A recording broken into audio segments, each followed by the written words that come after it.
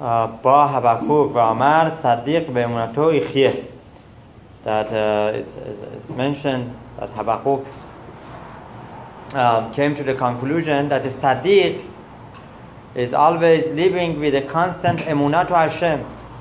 A righteous person has constant emunah to Baruch Hu.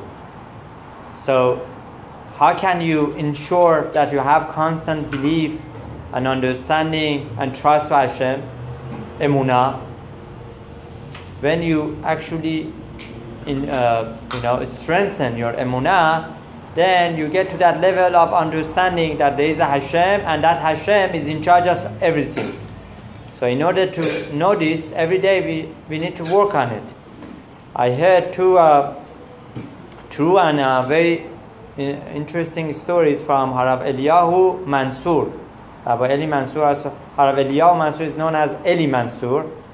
His correct name is Eliyahu. So once he was traveling in uh, in a cruise and all of a sudden he noticed that people are making lines like so many people they go in the cruises sometimes hundreds of people and there is this lady short lady selling you know little jar of jelly something for $20 and almost everyone bought that jelly. It's a cure all.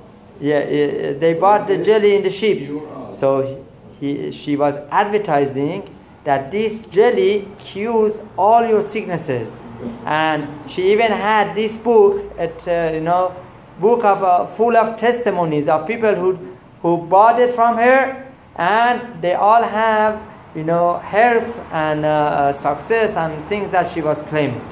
So Harav Eliyahu Mansour says, you know, this lady makes parnasa this way, right? Obviously, there's a Hashem, there's a Almighty, right, who ensures that even this lady, with whatever you know, trick or not tricks, true or not true, is making parnasa. If Hashem is sustaining us six days of the week, He can sustain us on Shabbat too. Those who unfortunately you know, are not aware of the beracha of Shabbat. The, the, the beracha of Shabbat is something that sustains parnasa and gives parnasa for the rest of the week. Right? Kiyesh mera Shabbat, ken ishmereni. That if you keep Shabbat, then Hashem keeps you, that, that He uh, sustains you and He gives you parnasa. Another story also told by Arav Eliyahu Mansour that uh, uh, there was this uh, a guy came to him to uh, to get a beracha. So somebody businessman in New York comes to Harav Ali Mansour and he asks for a beracha. He says, you know, Rabbi, I want to start a, a new business. I want to start filtering. I, uh, I, I'm, I'm studying. I'm, I, I want to start selling filtered water in New York. So, so there was somebody there who heard the conversation and, and he told him, you know, why you want to do this? Everyone drinks the water of New York. There's no problem with the water of New York. It's all good. So he said, no, I made tests. You know, I found that there are bugs in the in the water, right? You cannot see the bugs are not so good. You know, the, the filter system of the city is not so good. Perhaps I can give a product to the people of New York that is much better than uh, the water of the faucet that they have. So Harav Eli Mansour tells them, okay, no problem, I give you beracha, right?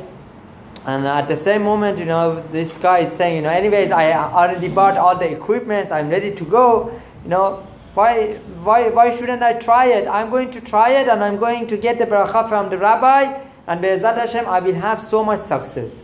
So he gets the beracha. Next day, uh, in the newspapers, all the news, there's this huge news that you know everyone is talking about it.